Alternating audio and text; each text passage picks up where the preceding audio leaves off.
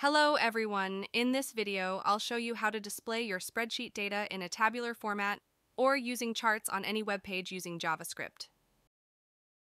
In the end, I will also show how you can deploy your code and get a live published URL for free. I will also discuss its possible use cases, so let's get started.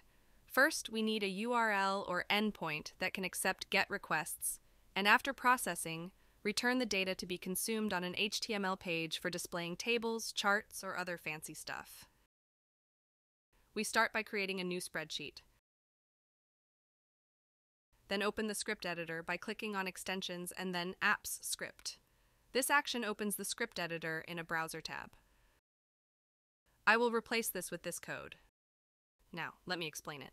Whenever a request is made to the URL, that request will be processed here.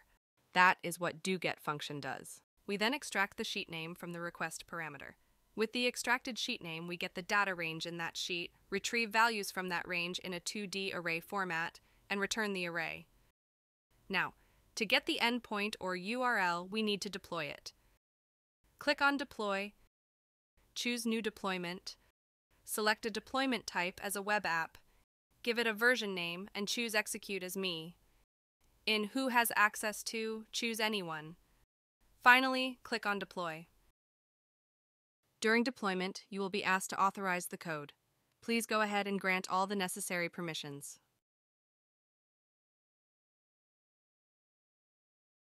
After a successful deployment, you'll receive a URL. Copy this URL. You can also get it from the Manage Deployment menu. Now let's test our endpoint. Let me populate the spreadsheet with some fake sales data.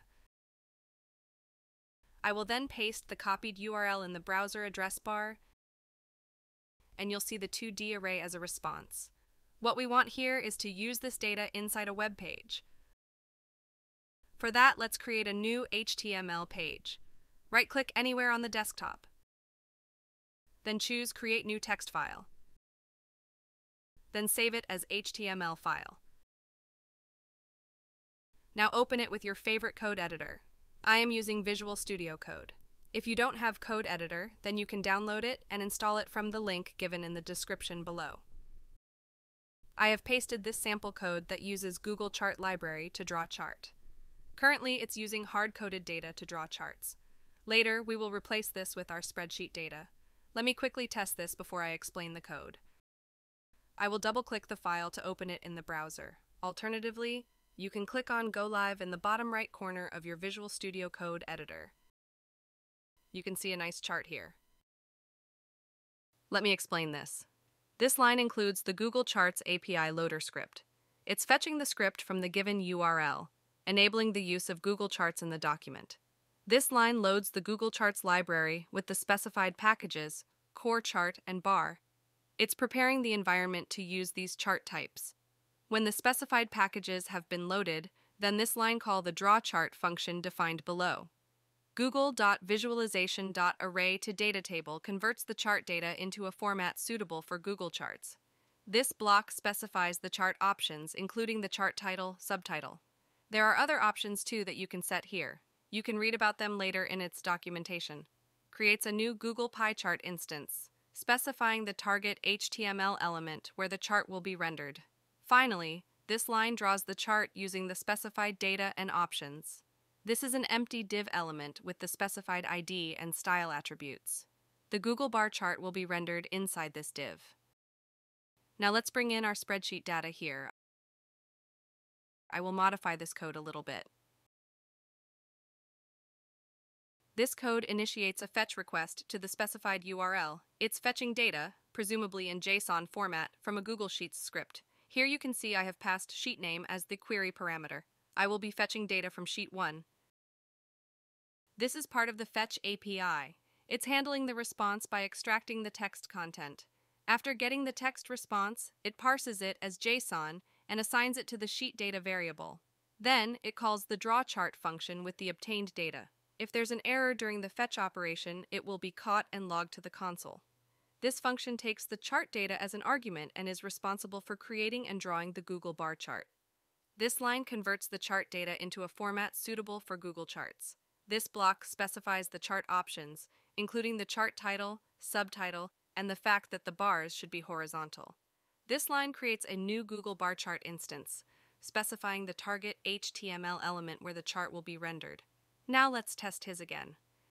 This time you can see bar chart representing our sales data. Moving on, let's add a table to visualize tabular data. For that, I will paste some fake employees data into my spreadsheet. Most of the code will remain the same. I will start by duplicating this block of code. Add additional package called table. Rename this function to draw table. I will have to edit my chart options.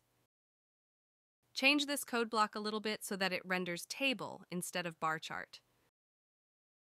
I will have to include an additional div element to contain table and provide the corresponding div ID to chart.draw function. Now let's test this. Here you can see both bar chart and employees table. You can also apply all kinds of formatting to your table. You can refer its documentation. I will post its link in the description. With additional HTML tags and CSS, you can fully customize this according to your needs. If you want me to do a full tutorial on converting it to a dashboard, then please let me know in the comments. Moving on, what if you want to access this visualizations on the internet? For this, you need to deploy your code to server. Let me show how to do that for free. We will be using GitHub pages. For that, you need to have GitHub account. If you don't have, then please create a new one. Then create a new repository.